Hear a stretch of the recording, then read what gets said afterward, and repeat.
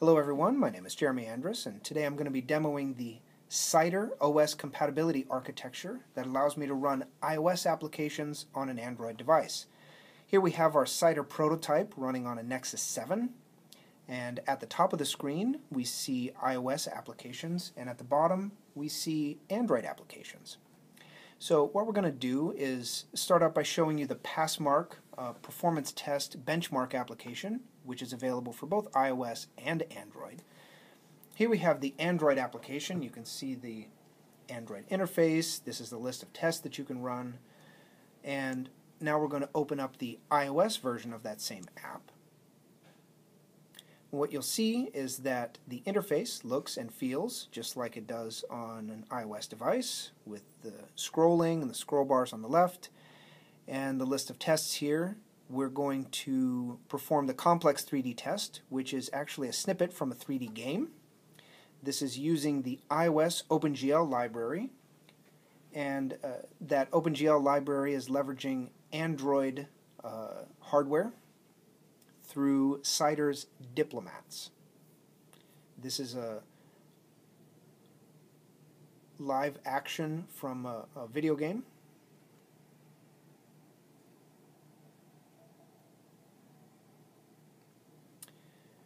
And here we're back at the uh, screen. We can click on the About button to show uh, a little web view can see this is the description. We can double tap to zoom just like we could on an iOS device.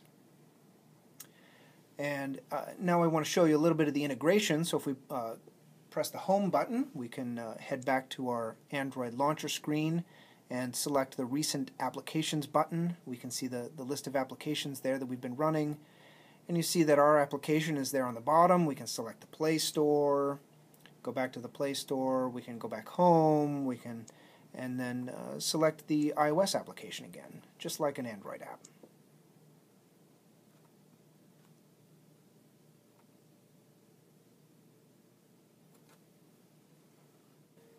Alright, continuing our Cider demo, we're going to run the Yelp iOS application.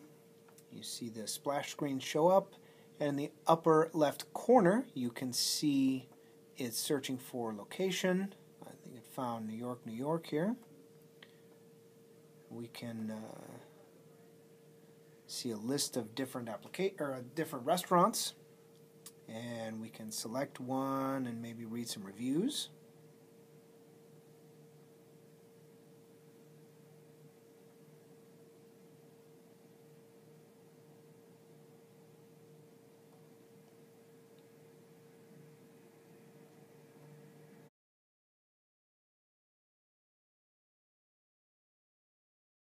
All right, we're going to continue the Cider demo running the Apple Remote program, which is uh, Apple's remote control program for iTunes running on a Mac or PC.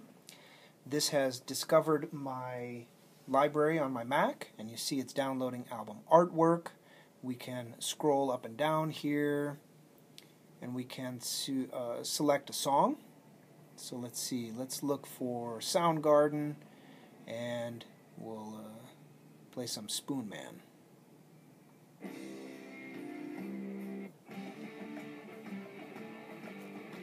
You see the interface is updated, you can hear the music playing in the background.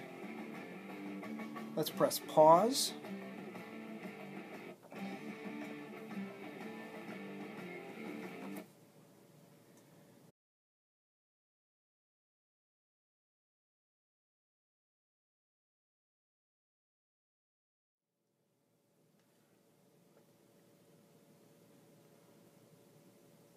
That is Apple Remote.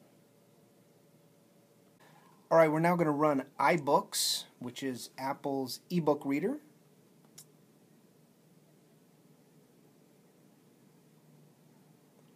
So you see the bookshelf show up here. This happens to be our PDF. Uh, we're not going to sign in.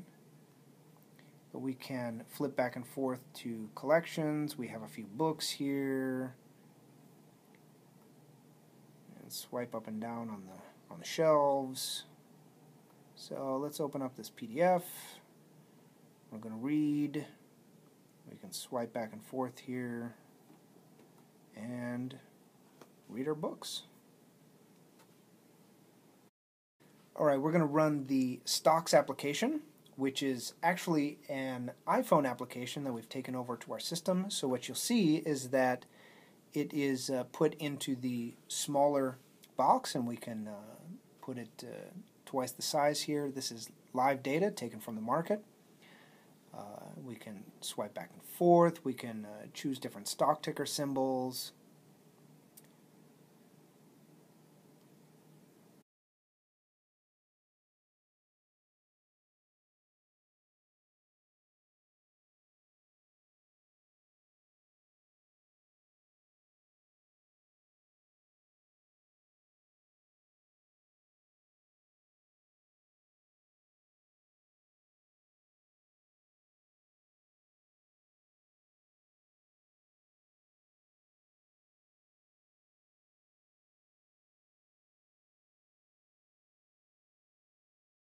Yeah.